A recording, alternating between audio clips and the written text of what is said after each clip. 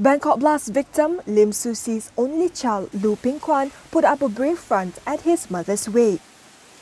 When he was informed that his mother was missing, Lu took the first flight out from Singapore to Bangkok on Tuesday. He said they were able to identify his mother by matching the gold silverfish nail polish on her fingers from photos taken to the nail polish on the severed arms found by authorities at the blast scene. Further DNA tests concluded the arm was his mother.